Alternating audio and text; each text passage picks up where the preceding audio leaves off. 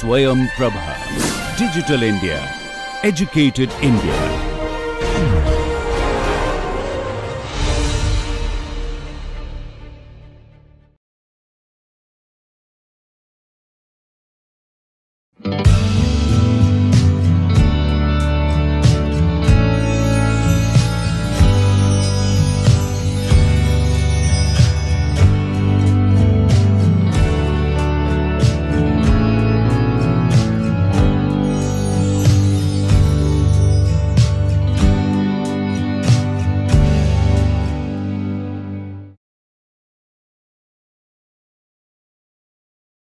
Hello friends, Namaste. Welcome back to this course, the Psychology of Language and this is lecture number 8 in the series. Now lecture number 7 focused on the production of speech and lecture number 8 is a continuation of that particular lecture where we look at how speech is uh, understood. What are the theories of uh, speech production which suggest how speech is produced and we will also look at speech production from a social aspects like uh, infant babbling and also uh, the various type of speech disorders. Now, before we go into the details of today's lecture, uh, let us take a journey back of how we started. So, we started off the journey by explaining what is the need for this course of psychology of language. So, we started off by explaining what is language and defining the meaning of language in terms of the very basic system of language which is called the animal communication. So, we looked at animal communication systems and the characteristics of that systems. We also looked at why animals communicate and later on we focused on the human language system. We looked at how human language system is different from the animal language system. We focused on how uh, the human language is built up right from the speech sounds to the morphemes, the simple words or word endings, the complete word formation, the sentence, the rules for sentence, the structure of sentence, this is syntax and grammar and also looked at how the discourse happened that is talking between people.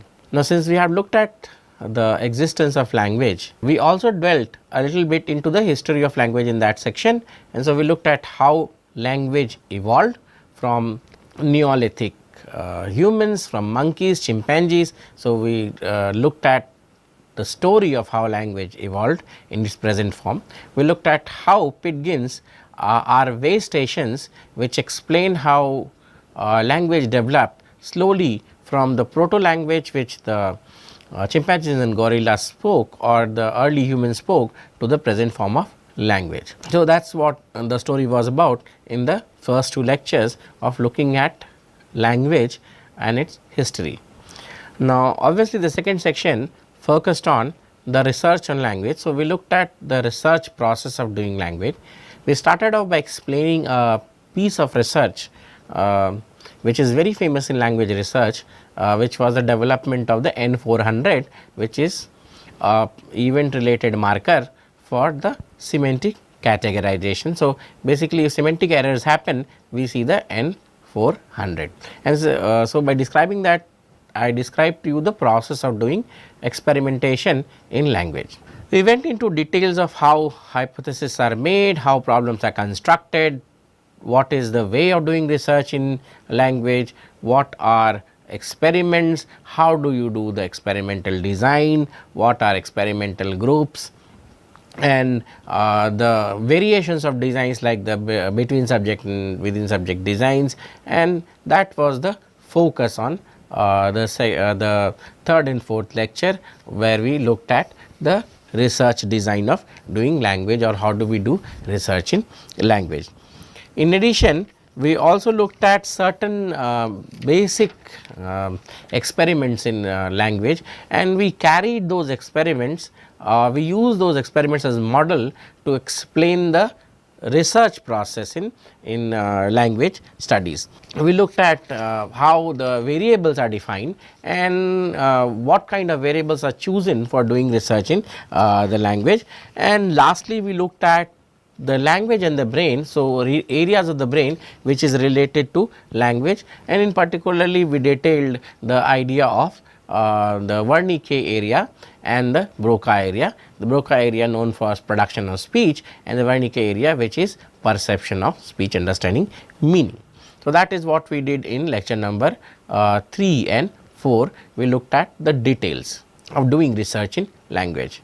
Now, obviously, once these two were clear, we started dwelling more into the idea of language. So, the third uh, section we jumped into the third section which is uh, lecture number 5 and 6 we looked at how speech is um, perceived. How do you perceive speech or how do you listen to speech? So we looked at the auditory system in detail. We looked at how sound behaves as a wave and we looked at the uh, the function of the auditory canal and the function of the cochlea, the basilar membrane, how they are arranged and in what way they perceive or they are able to uh, extract speech from sound waves.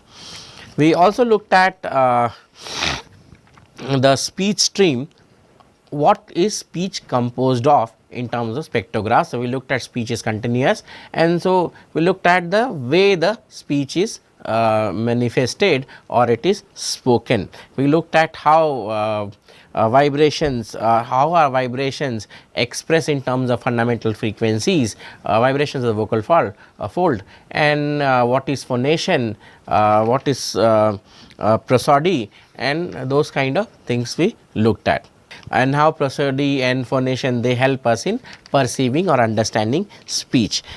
we looked at uh, the various characteristics of spoken language uh, which is uh, how vowels and uh, consonants are, um, uh, are expressed in the speech stream, what are formants and uh, things like sonorants, formants, fricates, plosives these are all characteristics of the speech. So, we looked at those kind of speech streams. We focused on how speech is perceived in categorical. Speech is not perceived in a, in, in uh, word by word, but they are uh, speech is perceived categorically. So, that is also another thing that we studied and we use Warren and Warren experiment uh, to understand how speech is perceived categorically. And lastly, we looked at the development of speech perception, how speech uh, perception developed and we looked at uh, how infants uh, develop the speech or uh, develop um, the speaking ability. So, we looked at evidences to that and the various kind of um, things related to infant speech uh, perception. And lastly, we focused on various theories of speech perception. So, we looked at three basic theories. We looked at the motor theory which believes that uh, speech is perceived through motor actions of uh, the various systems involved in speech. Um, we looked at a directly opposing theory which is uh, the auditory framework theory which opposes this idea that motor perception or gestures or the motor system which produce speech, the articulators which produce speech is anywhere involved in speech production. And so, the general auditory framework said the speech is like any other acoustic signal and it is not special. So, they provided evidences for that. And lastly, we focused on the idea of uh, direct realism which basically uh, talks about the idea that speech signal itself uh, has all the information necessary and so we do not need another theory of speech perception. Now once we had understood how speech is perceived, how speech is listened to, uh, we thought about going uh, into a little bit detail about those apparatus which actually produce speech and so that was uh, lecture number 7 where we looked at those apparatus which produce speech. So, we uh, started our journey by explaining the vocal tract and speech perception. So, how vocal tract actually uh, leads to the uh, phonation or the speech stream. So, we looked in detail uh, on those things of how the vocal tract is made and how it produces speech and how the glottis box or the, they produce speech. So, we looked at how consonants and vowels are uh, produced and we looked at the various manners of constriction. So, basically consonant is produced by restricting the air which is coming from the vocal fold. So, restricting in some way. So, there are three ways of restriction the manner of articulation, the voicing and the place of articulation. So, we looked into detail how consonants are produced and if we do not restrict the air which is coming out of the vocal fold, uh, we generally get a vowel and so vowel is basically uh, produced in, in, in coordination with the jaw, the tongue and uh, mainly the jaw and the tongue so, these positions so we looked at how different vowels are uh, produced and the triangular theory of vowels. So, we looked into details onto those things. We looked at uh, how plosives and uh, affricates are produced and uh, several other uh, interesting facts related to uh, producing of speech, the vowel, the consonant and also the idea of what is a diphthong and so on and so forth. We Additionally, we looked at the speech areas of the brain. So, we looked at the Geschwind uh, Wernicke model where we talk about how speech is produced or what areas of the brain is involved in speech production. So, not only the Wernicke and the Broca area, we also looked at several other cerebral areas which are involved in production of uh, speech. So, uh, finally, we ended our lecture on the minimal network of overt speech production that is what we are looking at uh, the three uh, minimal areas. So, we have the starting mechanism which starts with the supplementary motor cortex and uh, cingulate.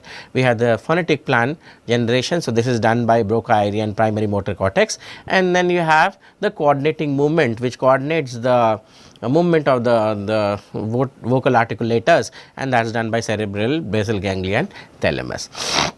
And so, this is where we ended. In today's lecture, what we are going to do is we are looking at models of speech perception. So, this is the, from the last lecture where we looked at these areas, the basal ganglia, the globus pallidus, the thalamus, the substantia nigra and cerebrum and these are the areas which are related to production of speech. So, in today's uh, lecture what we are going to see is various models of speech production and the social aspect of speech.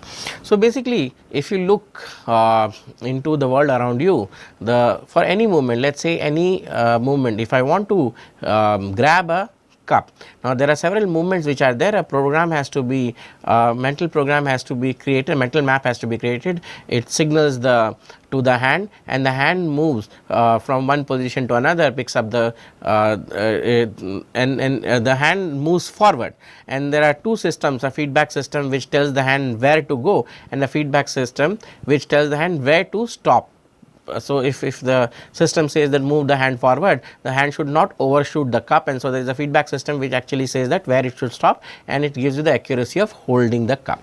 Now similar to this program, the speech system it uh, movement are similar to limb movement. So limb movement for uh, grabbing a cup is very similar to the systems that are available for um, uh, the uh, holding of or the speech articulation. And so, they involve the speech articulators the uh, instruments or, or, the parts of the body which produce speech they are generally uh, they involve the tongue, the jaw and the lips at various positions. So, the tongue, jaw and lips are the main articulators with the vocal fold uh, for producing speech. Now, the since the process is so rapid uh, basically these three things are the one which you can see and other areas uh, other parts of the body are also involved which you do not actually see. So, uh, we have uh, here the feedback and the feed forward uh, control systems of speech. So, how uh, feedback and feed forward mo models control speech or how they produce how they uh, predict how speech is produced. Now, the feed forward control uh, or the feed forward processes they provide the general motor plan for uh, moving a body part towards a goal position. So, the feed forward systems they uh, give the general motor plan for moving the body part towards the goal and feed forward systems are those systems which actually tell you uh, how to start the uh, an action. Now, similarly in the um, feedback system they adjust the forward trajectory based on real time information about likely success of the movement. So, if I start moving my limb or if I start speaking in the same way the action or the signal to start speaking is done by the feed forward system, but feedback system will adjust the uh, articulators of what to speak and what not to speak and this is based on real time information which is coming. So, feedback system they control and adjust the forward trajectory uh, based on real time information as it has been said here. Now, currently the models of uh, speech production generally assume a feedback and a feed forward system. Now, motor systems receive rapid feedback from somatosensory systems, muscle tendency and joint and uh, feedback in speech production are done by somatory system and auditory system. Now, just as uh, uh, the feedback and feed forward system works in the limb, in the uh, voice also or in the speech production also uh, we have the feedback and feed forward system. So, feedback system generally in terms of speech are done by somatory system, uh, the somatosensory system and the auditory system. Now, in the speech production the somatory system, somatosensory system provide continuous feedback on articulator uh, movement. So, basically the somatic system keeps on giving you real time feedback of uh, how the um, articulation is being done on uh, those parts of the body which produce speech for example, the tongue, the jaw and the lip and the vocal fold. Now, auditory system feedback is also important, but auditory system feedback is a delayed system. Somatosensory system is a real time system, it tells you uh, what is the movement or how your various uh, mm, jaw or tongue is moving for producing speech. The auditory system is a late system. Now, the uh, for studying the uh, the auditory system, the somatory, somatosensory feedback system, we use something called the jaw perturbation technique. The jaw perturbation technique. And so, what is the jaw perturbation technique? It can be used uh, to test the hypothesis that motor speech systems uses somatosensory feedback to make corrections during articulation. So, the idea that somatosensory system they make correction while making speech uh, that can be tested through this the jaw perturbation technique. And so, what it is? It tests the somatosensory feedback in speech production. So, what do we do? We attach a robotic arm to the participant's jaw. So, the participant is asked to produce speech and a robotic uh, robotic arm is basically attached to this part of the jaw the lower jaw because that that is the one which makes the movement. What the robotic arm does it applies upward or downward force during vowel articulation. So, when somebody is producing uh, vowel the uh, robotic arm is applying a upward and downward force.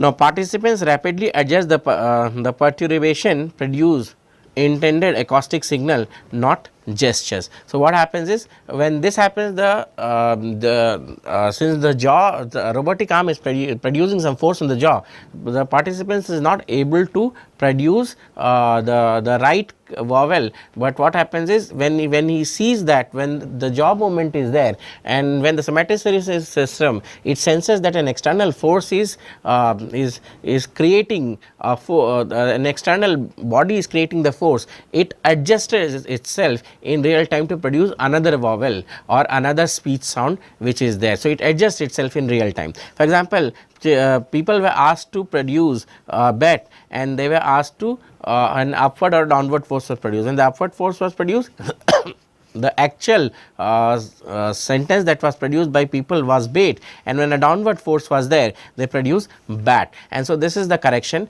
that was done. Now the finding from uh, these studies suggests that the goal of the speech motor system plan is not the production of a particular gesture but rather particular acoustic signal. So these studies say that uh, the speech motor system goal uh, is for a production is, is not for a production of a particular gesture, but for the production of uh, or, uh, or uh, the correction of an acoustic signal. The exact role of auditory feedback in speech production is actually less clear. So, uh, this is for the somatory sens uh, sensory system, but what about the auditory system? The auditory system has also been uh, held responsible for providing feedback. Now, the exact role of this auditory system is exactly um, uh, a little bit not clear. The reason is that uh, there is a large time lag with auditory feedback since uh, sound waves need to travel from the mouth to the ears and to be produ uh, produced by the auditory cortex. Now, somatic sensory system is a real time system and so it provides real time uh, uh, corrections or feedback corrections onto movements of the articulators, movement of those parts of the body which produce speech but the auditory signal or the auditory feedback is a slow feedback. The reason is that the word has to be produced by the mouth, it has to be heard by the ear and then processed by the auditory cortex only then it can produce a auditory feedback. Uh, the time lag is too great. So, the time lag between producing the speech and hearing the speech is uh, too great to produce useful feedback during articulation of a syllable and so that is one of the reason. Now, what is the role of auditory feedback that can be tested in uh, or auditory uh, uh, Uh, uh, feedback in speech production that can be tested by something called a auditory uh, perturbation technique. And so, what happens in the auditory perturbation technique? It explores the role of auditory feedback. Now, it tests the auditory feedback in speech production. What, uh, what is the technique like? It uh, participants speak into a microphone and listen through a headphone. So, you speak into a microphone and you hear your own speech in a headphone. What happens here is the computer modifies their speech. What it does is it delays the speech. So, your participants repeat a syllable into a microphone and listen through headphones of their own modified bias by a computer. The findings suggest uh, that we use auditory feedback not to make course correction of articulatory gestures in progress, but rather to adjust subsequent articulatory movements. So, we do not use it for course correction, but we use it for uh, subsequent uh, uh, the adjusting subsequent uh, articulatory movements. Since it is a delayed signal, so it is used for uh, the next articulatory movement which is there. So, computer modifies the speech and so you use a, so you hear a modified speech and so participants generally compensate for the sound shift. So, you hear it later and so what, what we do is since, since some, something is already been spoken uh, the auditory signal it is not used for gesture correction it cannot do gesture correction because it is a late signal. So, what it does it it it actually is used for compensation of the sound shift. So, since the sound is still being produced or it has been produced, so you compensate that and that is how the auditory um, uh, perturbation technique is used. Now, then there is something called uh, so auditory feedback is since auditory feedback is much slower than somatosensory feedback, sound exits mouth and re-enters through the ears and somatosensory system information travels within the nervous system and so this is a slower uh, feedback and this is a faster feedback. Now, time lag too great to affect current production, but influences subsequent production and so that is what the auditory perturbation technique is. Now, this auditory uh, the, uh, the auditory perturbation technique uh, suggests something called an auditory suppression happening during speech. An auditory suppression is uh, it's it's it's it's a technique in which uh, people uh, they perceive their own act and when they perceive their own act they do not respond to it. For example, auditory suppression is similar to uh, the fact that if you tickle yourself, you will know that you are tickling and you will not laugh. So, basically those, those acts that you actually do on yourself, uh, uh, the goal is also perceived and so you your response to that particular act is dampened and that is what is called auditory suppression. So, auditory suppression it is a general principle of sensory motor system and expected sensory effects of self initiated action are attenuated that is what I am talking about sensory effects of self initiated initiated action are attenuated or it is lower down. So, if you try tickling yourself or if you try um, doing something to yourself, your response to that particular action will be attenuated. So, I have never seen somebody tickling himself and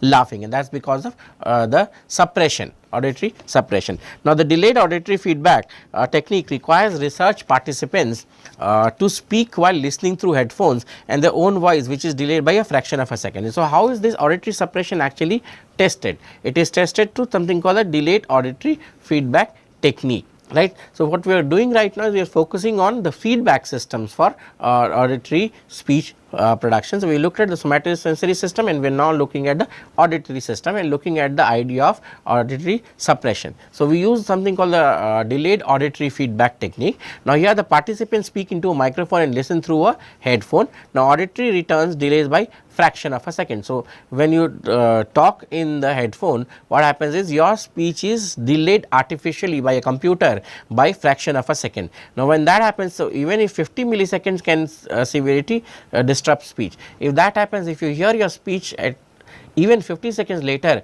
people keep quiet and they are not able to complete their speech. Now, normal auditory feedback causes no disruption because it is expected therefore suppressed. Now, even if there is a time delay in, uh, in, in uh, your speech. So, uh, normally what happens is when you hear when you speak something uh, the uh, auditory system expects a delay in hearing it. And so it suppresses itself. It suppresses uh, the the sound which you are hearing in your own um, uh, ear so through your mouth. But if there is a delay in, in the production of speech by a mouth and the hearing even by 50 milliseconds then it will cause an interference and because of this interference the speech will be affected. Now, uh, when you when you do that uh, there is a disruption of auditory suppression. Now, this disruption of auditory suppression uh, it disrupts person's ability to actually speak now, recent EEG and neuroimaging shows that speech interference due to delayed auditory feedback is related to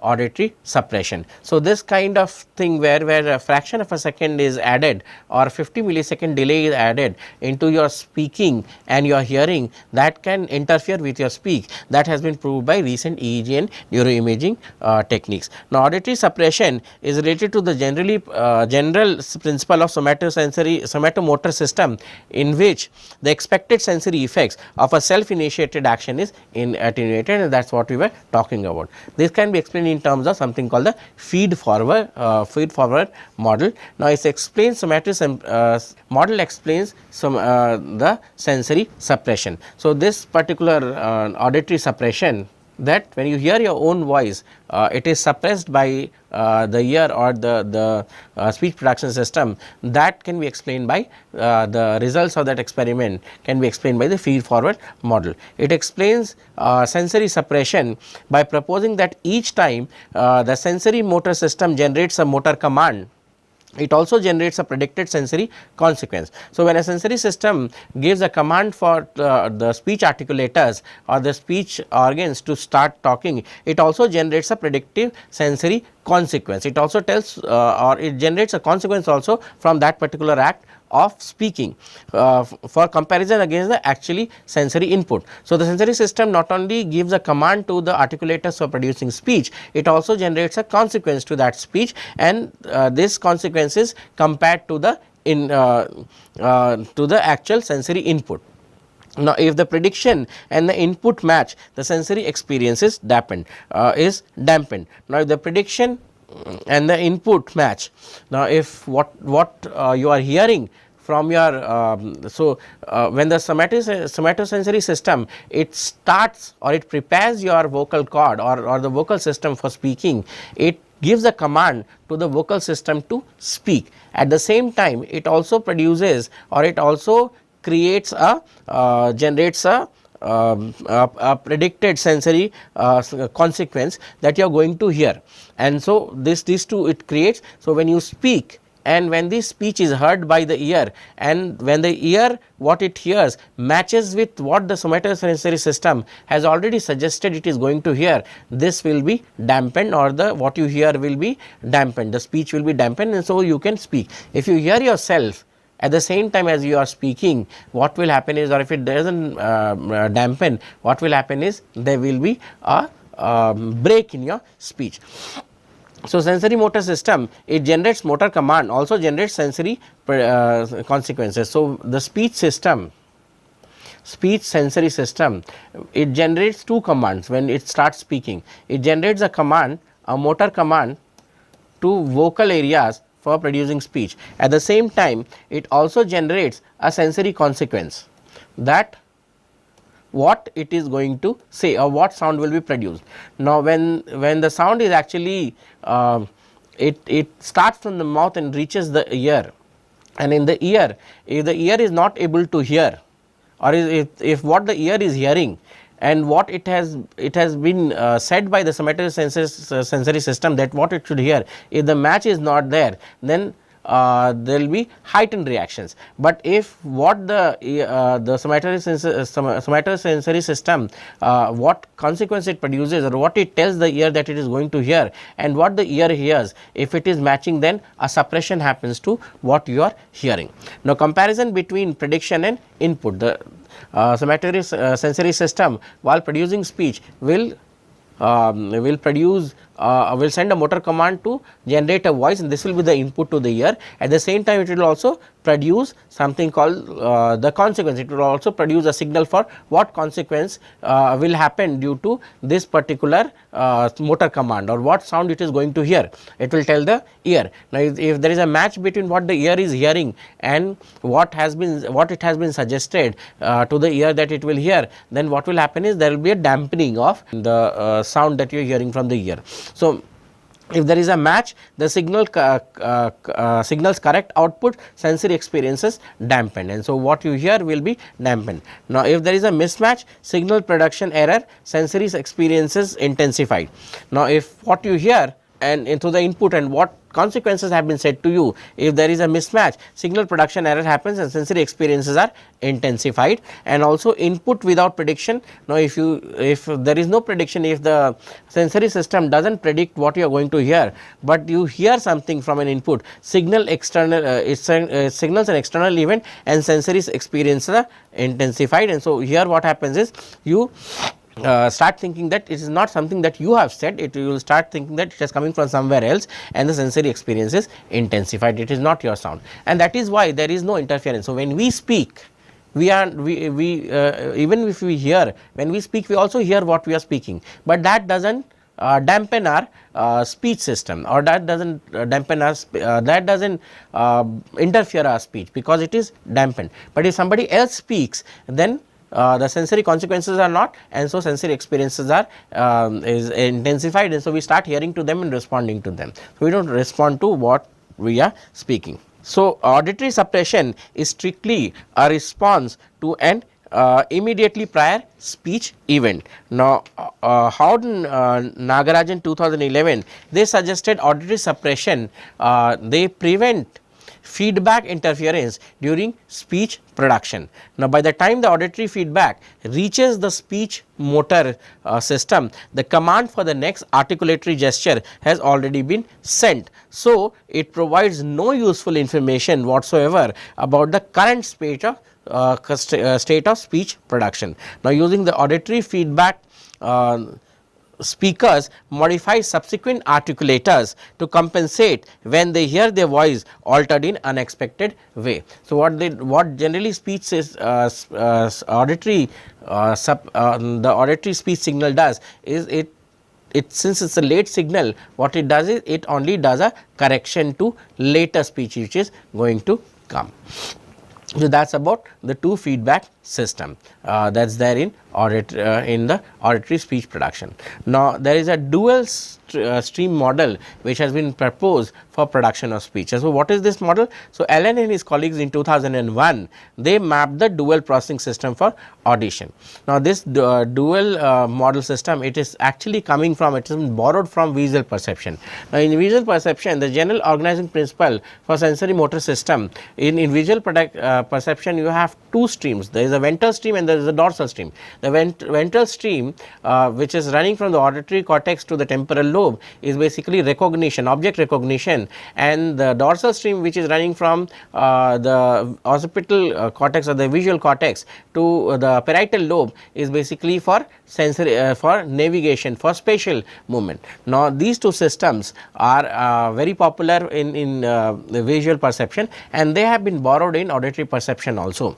Now the ventral stream uh, in, in, in the visual or any sensory motor system through temporal lobe processes what information? Object identification. In the visual uh, uh, as I said in the visual stream uh, the temporal lobe process is about what information is being said what is an object so object recognition and the dorsal stream parietal lobe from the occipital lobe it's it uh, looks at something called how information. Earlier it was called the what information what am I uh, uh, why information, why am I seeing. Later on it was identified into how the spatial since since the dorsal stream will uh, talk about navigation or the dorsal stream is involved in, in navigation it is about what uh, or uh, how that particular navigation has to be done. Now, the dual stream model has uh, for speech production has been provided uh, processed by or has been proposed by uh, Hickok and Poeppel in 2007. Now, the speech production system according to Allen and his colleagues in 2001, uh, the speech perception system is organized into the what system which is the ventral stream and how which is the dorsal stream. So, uh, Allen and uh, 2001 it says that the speech production system are uh, processed or it has been divided into the ventral stream and the dorsal stream. The ventral stream is the what system and the dorsal stream is the how system. Uh, so, Hickok and Poeppel 2007 they propose in speech perception and uh, the ventral stream is a bilateral processing pathway. The ventral stream that you see in speech perception. So, speech perception is basically having two streams of information or there is two ways of processing. There is a ventral way or a ventral stream of processing of uh, speech and there is a dorsal stream. The ventral stream starts from the temporal lobe to the uh, auditory cortex and the dorsal stream starts from the parietal lobe to the auditory uh, information. Now, what is the ventral stream according to um, Hickok and Poeppel? What does it composed of? So, um, the ventral stream is a bilateral processing pathway. So, ventral stream is bilateral which means that it is in the both hemispheres um, and interprets the meaning of the incoming speech signal. So, it is first of all it is a bilateral which means that it is parallel there are two ventral streams first of all and then what it does is it interprets meaning of the incoming speech. In comparison to that the dorsal stream is basically uh, left hemisphere processing pathway. So, it is not on the right hemisphere the dorsal stream is a left hemisphere processing pathway and it links incoming speech signal with motor programs. So, what does it do? Uh, it, it links the incoming speech signal. The ventral stream makes the meaning of the incoming speech uh, uh, incoming speech and the dorsal stream takes the incoming uh, uh, sleep uh, the speech signal and it links this speech signal into the speech motor programs. So, that what should be said. So, something is said and your ear hears that it takes this signal and then the meaning is of this speech is done by the ventral system, but this speech is heard by the dorsal system and it sends a signal uh, somatosensor signal to the auditory uh, uh, to the um, voice producing areas, the vocal areas um, to articulate the next speech that is what the dorsal system does it sends a motor signal. The ventral stream is basically what does it mean and the dorsal stream is basically how do you say that. So, it is a left hemisphere processing pathway it links incoming speech signals with the motor signal. Now, traditionally the traditional view that language is lateralized to the uh, left side of the brain. Now, neuroimaging studies it suggests that both hemispheres of the cerebral cortex and a number of subcortical systems are recruited for speech processing. So, it says that not only left hemisphere, but both hemispheres are involved in speech processing. Now, there are parallel ventral streams in both the hemispheres with the right hemisphere processing meaning over large time scales. So, the, the right hemisphere process meaning and it takes a long time for processing meaning and the left hemisphere uh, processing is for a short period of time and it is analytical processing that the left hemisphere actually does. Now, the dorsal stream uh, originates in the speech perception area area in the uh, lateral fissure which is the Wernicke area and extends to the posterior inferior uh, the posterior inferior frontal gyrus which is the Broca area as well as the primary motor cortex of the left hemisphere. So, that is what it is dorsal stream is in the uh, it starts from the Wernicke area and goes to the uh, Broca area. Now, in the model the ventral stream provides an interface between uh, processing below the level of word which is phoneme, prosody and syllables. Now, this model of dual speech system it says that the ventral streams provides an interface for processing those sounds uh, or uh, processing those aspects which are below the level of the word. For example, the, uh, the at the level of phones prosody and syllables and processing at the word level or uh, also processing at above word level for example sentence and discourse. So, this kind of processing below uh, word level and uh, above word level the interface of processing these are through the ventral stream. Now, the ventral stream uh, ac accounts for clinical and neuroimaging data required for retrieval of words from their uh, meaning. That is what the specification of ventral stream is. Now, what is the dorsal stream? Now, the dual stream looks a lot like the Wernicke. Uh, so, basically how does the dual stream model it compensates uh, or it, it matches with the older theory of uh, Wernicke and Gish uh, and uh, Geschwind that we have looked at. What happens is what is the similarities between them or how do how does the dual stream accommodate those theories? First the dual stream looks a lot like Wernicke Geschwind model. So, it is basically the same kind of uh, interpretation which is there. Also the dorsal stream it provides a mechanism for motor theory. The dorsal stream provides a reason that motor theory of speech perception is somewhat correct. Also the dorsal stream also provides a mechanism to account for phonological short term memory. So, this is the uh, dual uh, model and this is the details of the dual stream model of speech production. Now, there is another model of speech production which is called, so this is what it is you have the auditory feedback via subcortical nuclei, the somatosensory feedback via subcortical nuclei to articulate musculature for subcortical nuclei. you have the articulate velocity and position maps, feedback control maps, auditory error maps, somatosensory error maps, feedback control systems are there and this is feed forward control system and this feed feedback feed control uh, feed forward control system generally are used for production of speech and this is uh, how the DIVA model actually works. So, uh, this is uh, basically that was the DIVA model that I explained. So, it should have come later on. Uh, this is the how the dual stream model really works. This is the dorsal stream, this is the ventral stream. So, it uh, you have the articulatory network, somatosensory interface, input from other sensory modalities, you have conceptual network here, phonological network here, lexical interface here, somatos uh, temporal analysis here and combination networks here. And so, these are the two uh, Wernicke and how the information in the left and right hemisphere they interact for producing the speech stream.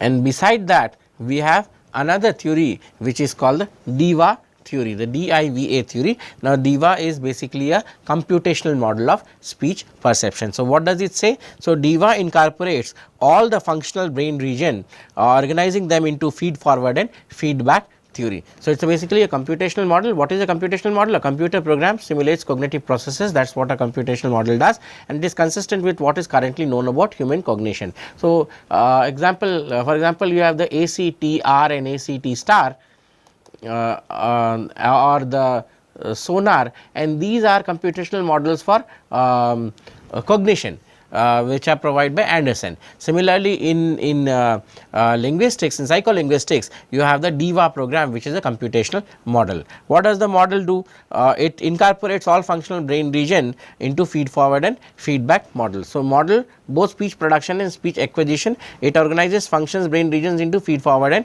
feedback control systems.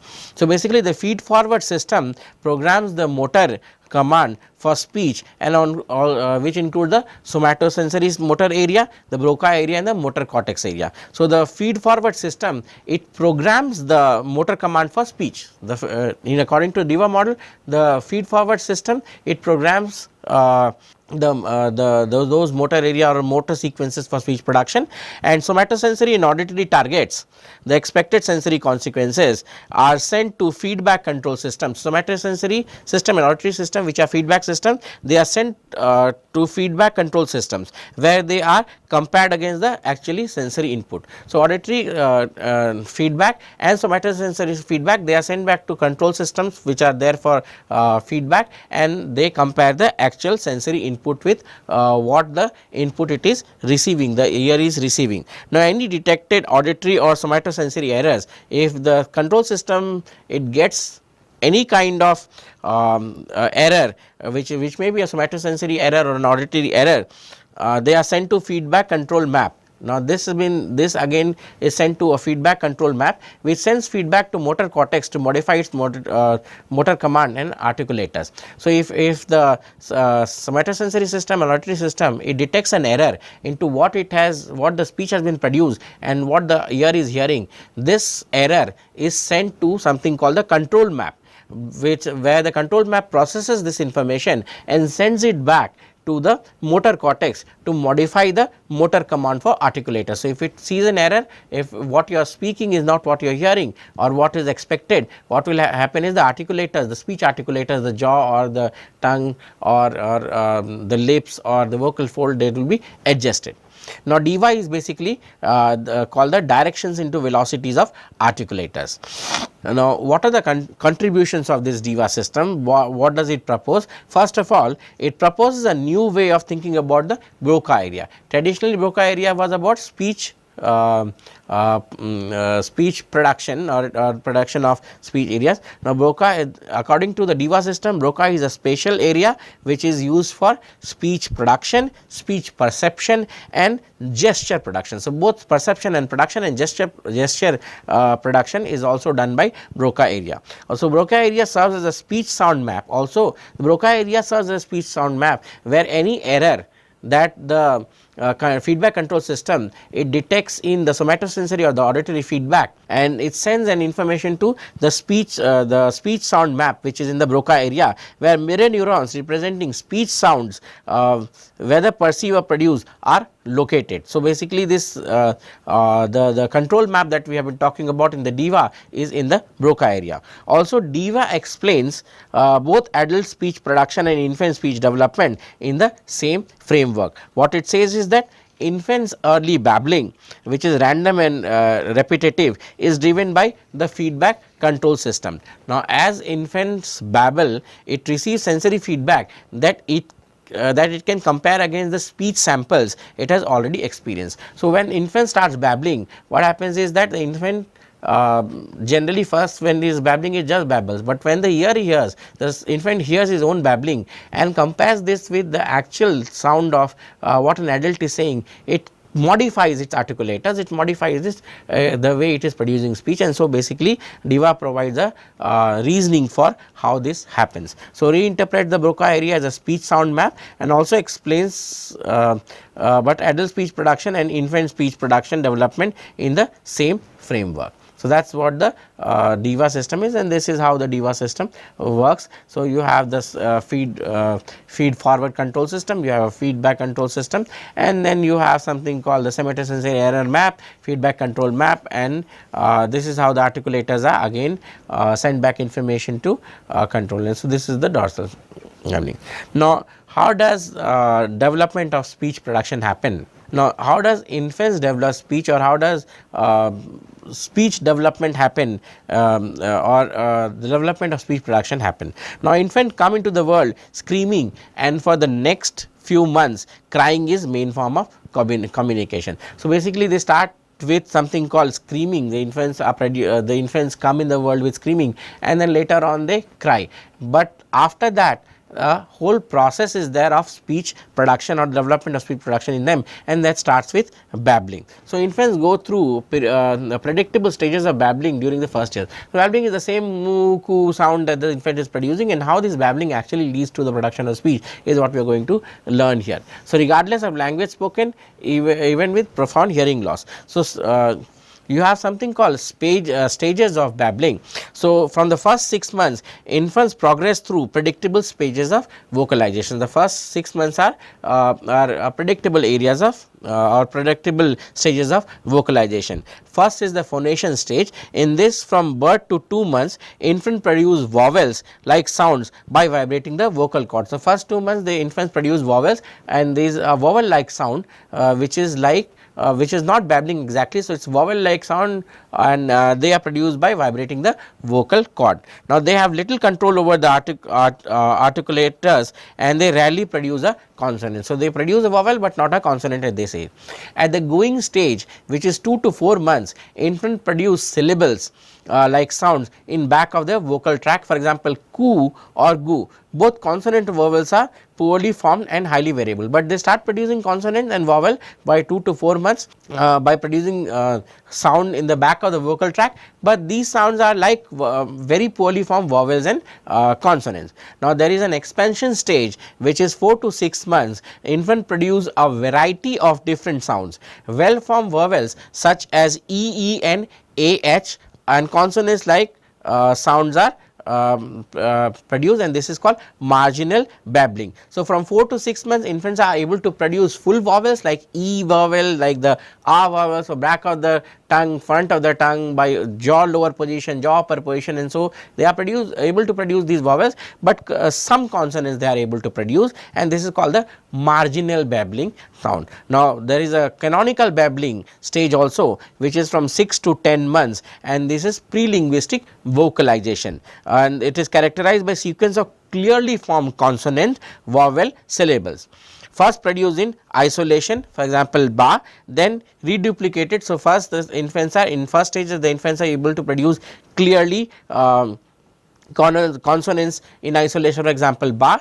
then they are able to reduplicate the syllables uh, for example not one just ba but they can produce mama. So, uh, in the first stage they are able to just produce ma ma ma ma like that. And later on they are able to reduplicate this vowel and produce 2 which is uh, mama and then later they can produce a variegated syllable like daddy which is more of uh, more than replication of a single syllable. Now consonant consisting of mainly oral and nasal stop produced with lips or tongue. So, uh, the at the canonical babbling stage they are able to produce consonants with oral and nasal stop for example, the B sound, the D sound, the M sound and the N sound and caregivers they respond to canonical babbling as they are uh, intentional speech. So, basically they are able to produce these kind of speech early there are several stages of babbling which we talked about and the infant goes through these stages of babbling. So, that is how the babbling starts.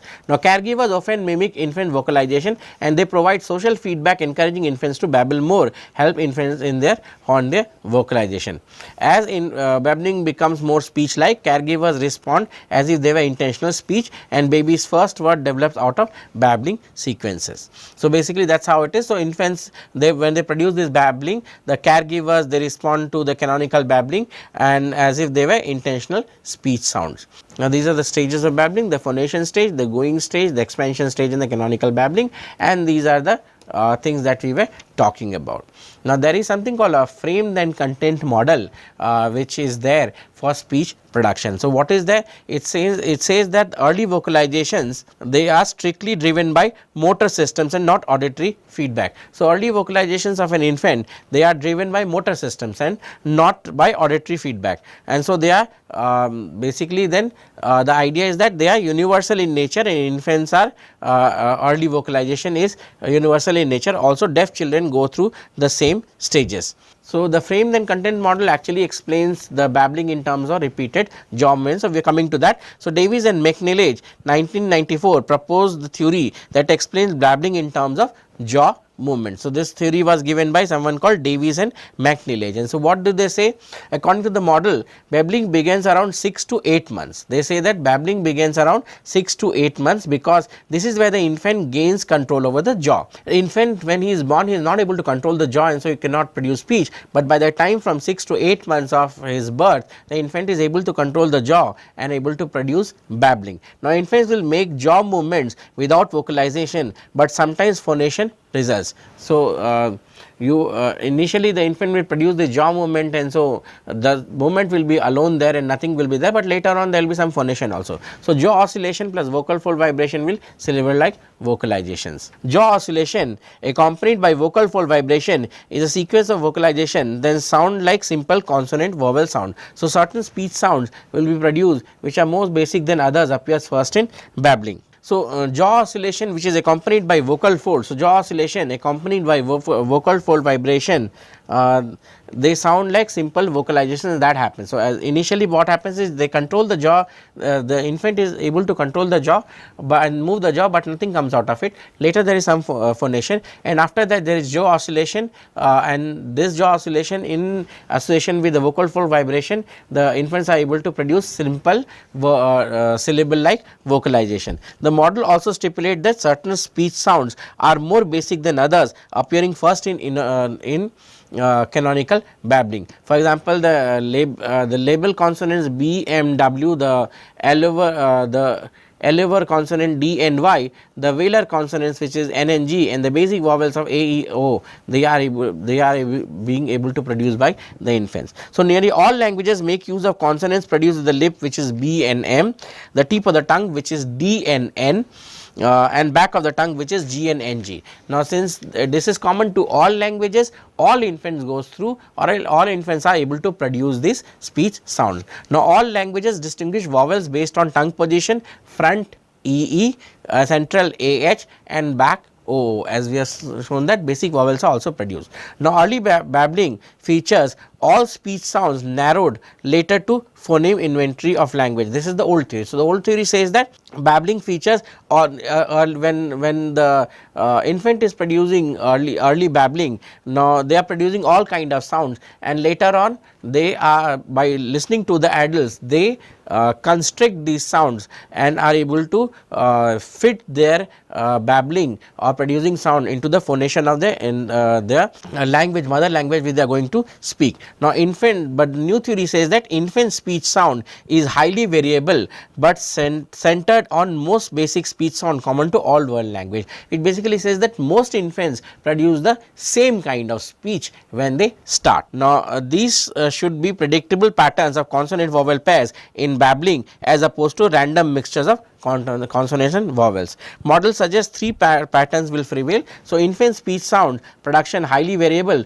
but centered on these basic speech sound. All consonant vowel combination occur, but certain combinations are more likely than other combinations. So, as, as we said typical babbling syllables the model suggests that three patterns will prevail you have a central pattern you have a frontal pattern and a back pattern. So, if the tongue happens to be in the central position during babbling uh, the lips will constrict uh, and the vocal tract will and uh, when the jaw closes will produce consonants like B, M, W. So, B, M and W and vowels like R and U. So, they are able to produce this.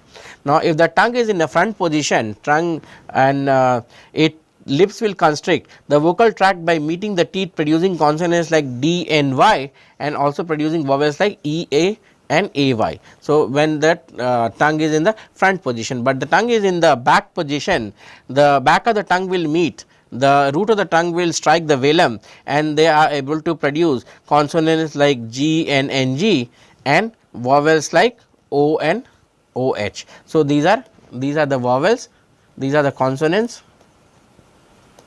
the uh, infant is able to produce and these are the vowels that the infant will be able to produce. Now, the reasonable conclusion from this model is that these babbling patterns are driven by motor and not by auditory uh, uh, uh, processes. Now, let us look at the social aspects of babbling. First, the parents interpret the infant uh, babbling as an attempt to speech. So, caregivers they respond to babbling as if it was an invitation to conversation. Now, imitate babbling with confines of their own language. So, what they do is they uh, imitate the babbling with confines of their own language. So, they produce the right sound and or they produce the sound which is similar to the babbling sound and so the infant listens to that and they uh, are able to respond. So, when babies uh, babble parents imitate them and the auditory feedback helps the infant to home in on the sound categories of the language it is learning. Infants use babbling to elicit responses from caregivers. So, the infants use this feedback modified babbling sound to uh, like caregivers language. Now, there is something called object direct vocalization. So, when the in, uh, caregiver or the parent are speaking to the infant, they use something called object directed vocalization. They show the uh, infant particular objects and uh, speak the name of the object in the same babbling language of the infant. So, object directed vocalization babbling uh, uttered as infant approaches and manipulates a novel object. So, babbling uttered as infant approaches and manipulates a novel object.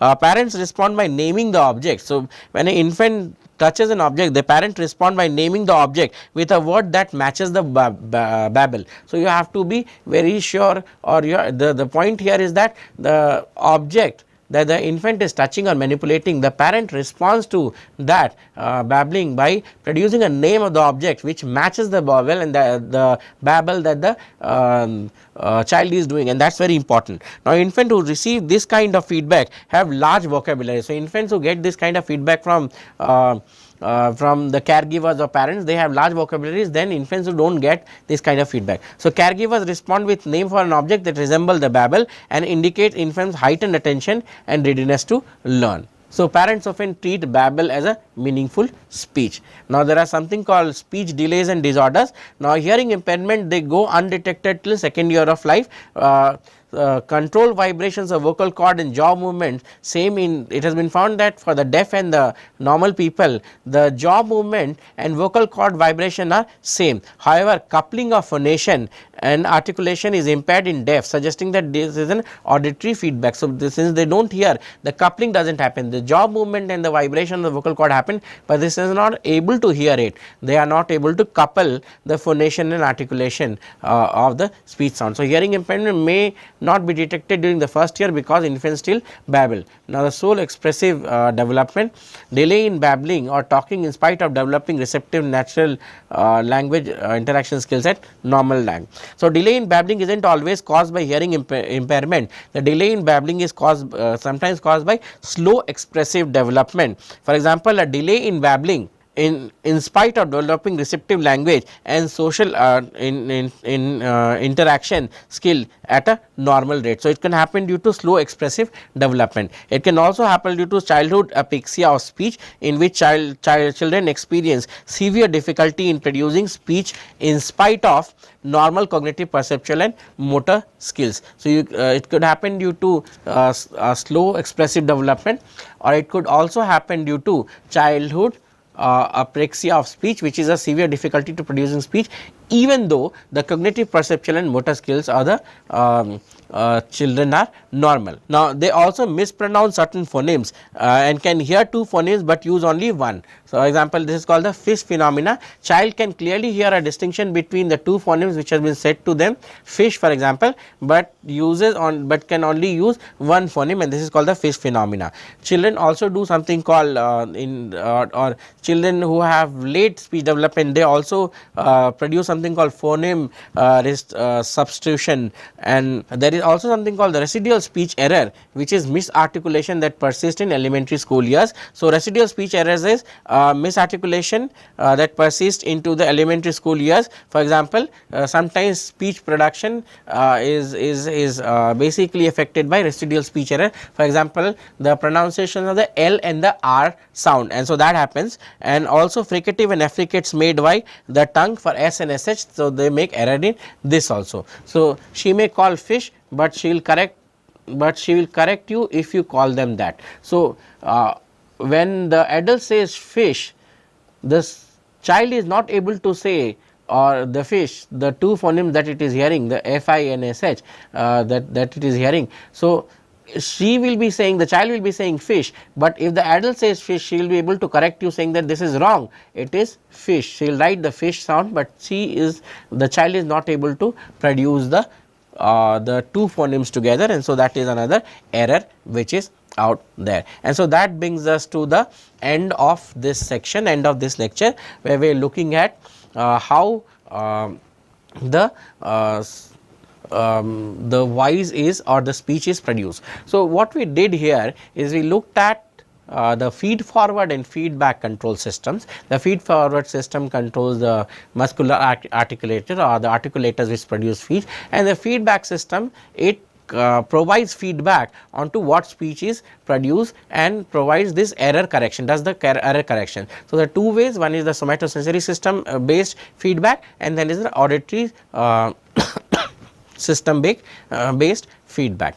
Then we looked at the two stream the dual stream model where we looked at uh, the ventral stream and the dorsal stream and how the ventral stream and the dorsal stream they combine together to lead to speech production. Further to it we looked at the DIVA model which is another model and a more complicated computational model which explain how speech is produced and so they talk about the feedback and feed, feed forward systems and the integration of the two system of producing speech and correction of speeches and they integrate the whole uh, idea of speech production which has been captured up till now.